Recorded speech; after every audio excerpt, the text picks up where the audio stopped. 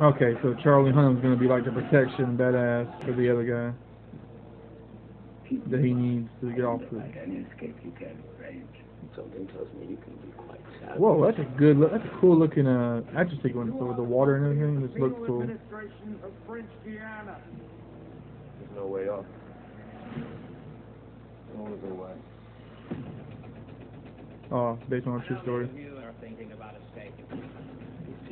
Oh my god, Free to stop. try whenever you like.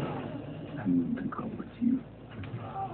There are two guardians who are always. Is that um is that Chibs from Sons of Anarchy? What I can't remember his actual uh Tommy Finnegan. Or you could choose to Tommy Finnegan, is that his real name? where sharks are always hungry. If you manage to survive your first attempt, you'll get two years in solitary. Second attempt. Okay, they're giving us like this full on exposition over here.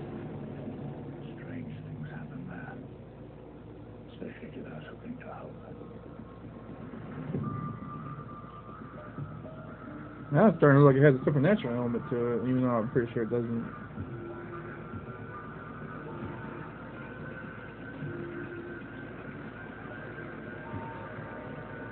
Okay, that's his.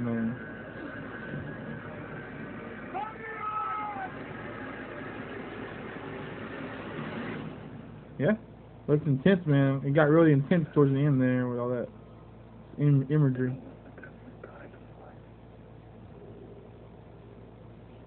Yeah, I'm down. It looks interesting. I like the idea.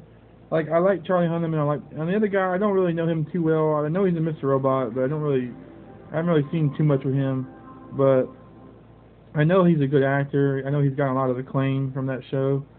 So it's interesting to see, and I think they fit well in the characters they're playing. Like I think Charlie Hunnam fits well as the kind of, as this kind of badass, you know, rebel that's trying to you know, protect the other guy. And I like, I think the other guy does well as being this more timid, like smarter, more you know, cunning kind of guy who's got the resources that Charlie Hunnam needs to get out of prison or whatever. And they're gonna have to work together, obviously. And they obviously they're gonna probably build some kind of broship going on throughout the movie.